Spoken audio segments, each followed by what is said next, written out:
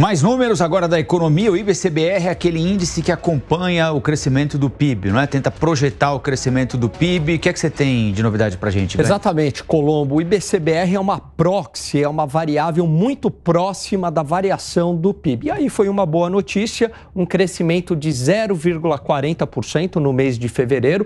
No mês de janeiro havia crescido 0,60%. O IBCBR ele não traz uma abertura do que, que puxou esse crescimento mas, se a gente confrontar com alguns dados do IBGE, a gente sabe que o que tem puxado mais esse crescimento econômico no primeiro trimestre uh, é aquela parte de consumo, varejo e serviços. E a indústria na contramão, a indústria aí tem sofrido bastante. Então, provavelmente, o Brasil crescerá nesse primeiro trimestre, na hora que for divulgado o dado do PIB pelo IBGE, e vai ser um crescimento mais puxado pelo consumo, gastos do governo e exportação, mas provavelmente vai trazer uma queda no investimento. Vamos ouvir um pouquinho da Amanda Klein e do Vilela a respeito desse assunto também?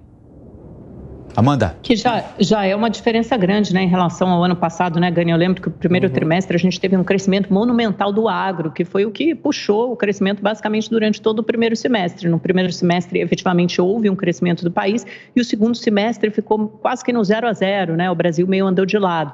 E agora, nesse ano, a expectativa é que esse crescimento seja mais disseminado entre vários setores da economia, não só no agro, mas também passando por indústria, serviços, consumo. Mas eu acho que, concordo com você, acho que a grande incógnita é sobre os investimentos, porque afinal de contas são eles que criam um outro patamar para um crescimento sustentável mais duradouro de um país. E a gente não viu ainda esse, não digo nenhum salto nos investimentos, mas um crescimento é, mais, mais acertado, né, mais sinalizado.